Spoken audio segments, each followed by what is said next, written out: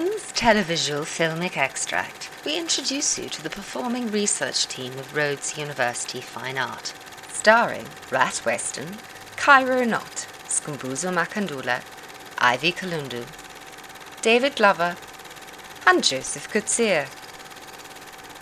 This plucky young crew are based in Eastern Cape Frontier country, a location which, according to recent journalistic debate, is sorely lacking in appropriate for the genre of performance art.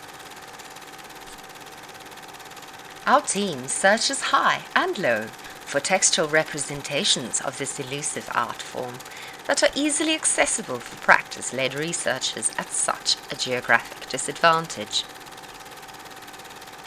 Their keen eye for analysis and perseverance in investigating even the smallest detail often is reduced to continually assessing one another's practice in a deeply incestuous manner. Looking to broaden their research horizons, this team has hit upon a cunning plan to produce a newspaper which will analyze the performances of infecting the city in metaphoric ways through the lenses of food, sport, and other such newspaper classics.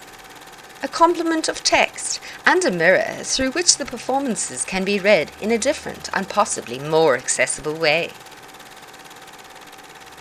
It will be a happy tour which radiates friendship, kinship, and performative research. Personifying a relationship which links a far flung commonwealth with the mother city. If we can make this show a success, it will be a great boost all round.